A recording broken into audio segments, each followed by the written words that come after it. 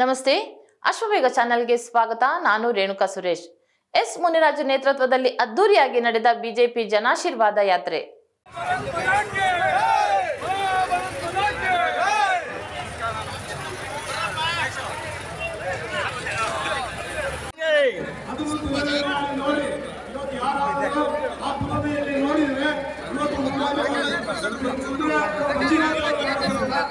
ಯಡಿಯೂರಪ್ಪನವರು ಮುಖ್ಯಮಂತ್ರಿಯಾಗಿದ್ದಾಗ ಸಂದರ್ಭದಲ್ಲಿ ದಾಸರಳ್ಳಿ ಕ್ಷೇತ್ರಕ್ಕೆ ಹೆಚ್ಚು ಒತ್ತು ಕೊಟ್ಟು ಕ್ಷೇತ್ರದ ಮೂಲಭೂತ ಸೌಕರ್ಯಗಳು ಹಾಗೂ ರಸ್ತೆ ಅಭಿವೃದ್ಧಿ ಕಾರ್ಯಗಳನ್ನು ಮಾಡಲಾಯಿತು.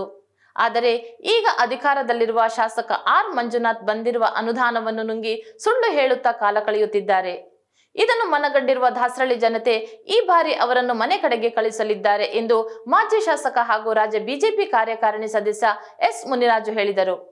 ಕೇಂದ್ರ ಸರ್ಕಾರ ಹಾಗೂ ರಾಜ್ಯ ಸರ್ಕಾರದ ಸಾಧನೆಗಳನ್ನು ಮನೆ ಮನೆಗೆ ತಲುಪಿಸುವ ಉದ್ದೇಶದಿಂದ ಆಯೋಜಿಸಿದ್ದ ಜನಾಶೀರ್ವಾದ ಯಾತ್ರೆಗೆ ಸುಂಕತಕಟ್ಟೆ ಪೈಪ್ಲೈನ್ ಮುಖ್ಯ ರಸ್ತೆಯಲ್ಲಿ ಅದ್ದೂರಿಯಾಗಿ ಚಾಲನೆ ನೀಡಿ ಅವರು ಮಾತನಾಡಿದರು.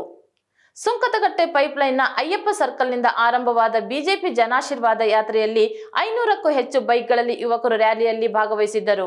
ಈ ಸಂದರ್ಭದಲ್ಲಿ ರಾಜ್ಯ ಸಮಿತಿ ಸದಸ್ಯರು, ದಾಸರಳ್ಳಿ ಅಧ್ಯಕ್ಷರು, ವಾರ್ಡ್ ಮಟ್ಟದ ಮುಖಂಡರು, ಬಿಬಿಎಂಪಿ ಸದಸ್ಯರು ಮತ್ತು ಮುಖಂಡರು ಹಾಗೂ ಕಾರ್ಯಕರ್ತರು ಉಪಸ್ಥಿತರಿದ್ದರು. ಇದು ಈ ಕ್ಷಣದ ಸುದ್ದಿ. ನಿರಂತರ ಸುದ್ದಿಗಾಗಿ ನೋಡ್ತಾ ಇರಿ Ashwavega twenty four into seven